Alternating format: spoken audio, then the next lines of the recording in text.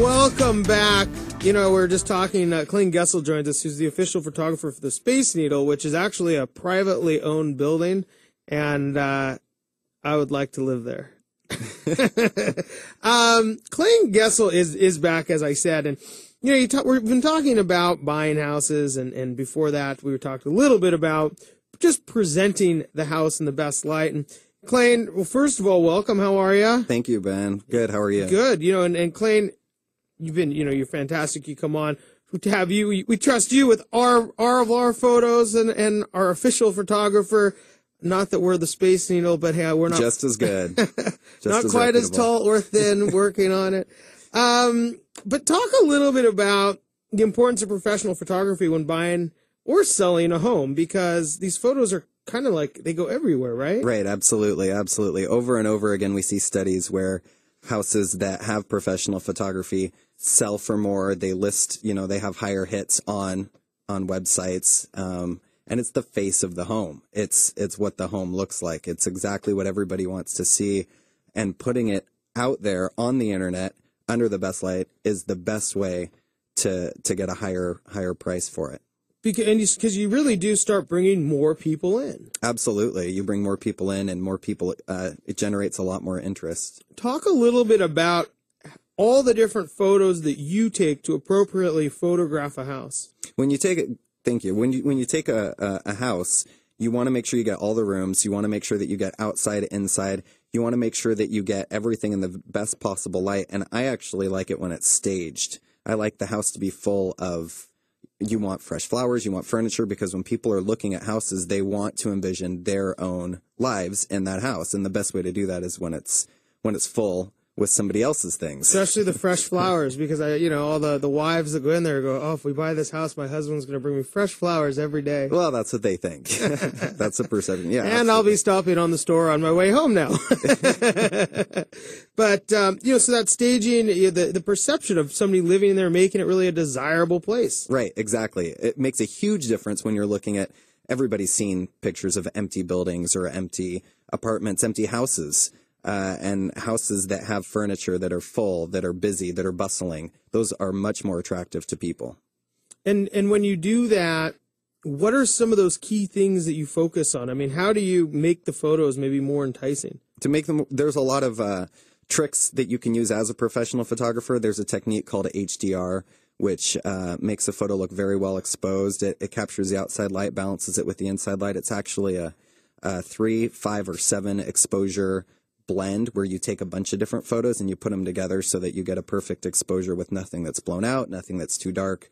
Um, and it, it makes the, the house and every, every minute look much better when you can see the outside and inside. Well, I mean, you just talked about brides wanting to take 50 pounds off. I mean, so this is kind of that same thing. You make a house look better. Exactly. You make the house look, yeah, in the best possible light. Shoot when the light is right. Shoot when it looks at its very best. Just like a bride, you dress it up really nice. I think it's a her, not an it. Her. um, when you when you start putting all these photos together, it's somewhat of a collage, right? I mean, you're trying to make sure that it, it is in its best light, and you have all these different pieces.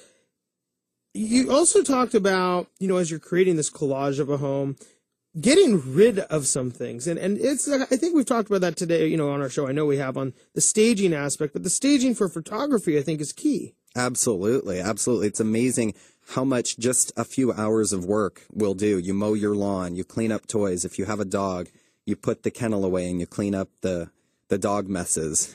Just little. Hopefully they were clean in the house before, but yeah. Just the little tiny things that you can do that, that most people don't do. Do touch up paint, uh, trim around the hedges of your of your yard when you're taking outside photos fix cracks you know and and just the little tiny things that can take a little bit to repair can make a huge difference. You know in in my monologue we i talked a little bit about how many how much positive news there is out there negative news and, and the balance of all this.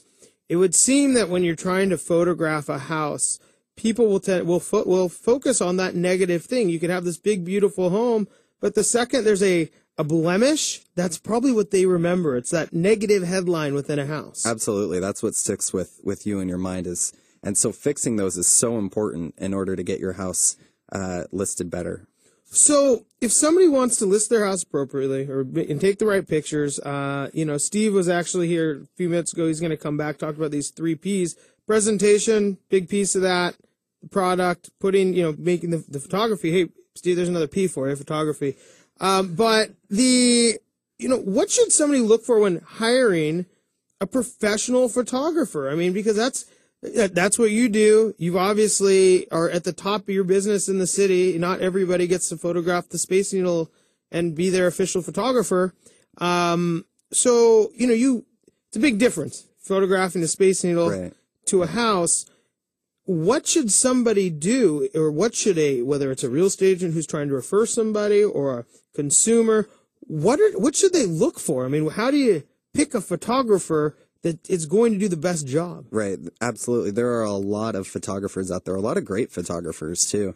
The best way to pick one for your house is to ask for recommendations and look at their portfolio. You want a, somebody that's photographed hundreds of houses and and you can go through and look at their houses, look at their work. The best predictor of future behavior is past experience. It's it's all about what they've shot in the past. It's all about what their their portfolio is built out of. If they've done a good job in the past, you know they're going to be reliable. You know they're going to be consistent. And your what's your, what what is your your clanegessel.com, right? It is and that's where people can actually see your portfolio. Absolutely. Um, and then so if somebody goes through, they like some of the photos. What are some of the big red flags then Big red flags for for a bad photographer? for a bad photographer would be somebody that that hasn't shot a lot, somebody that, that Comes in with the their right with their with right. their smartphone and start snapping photos. Right, exactly. Although the iPhone takes great photos these days.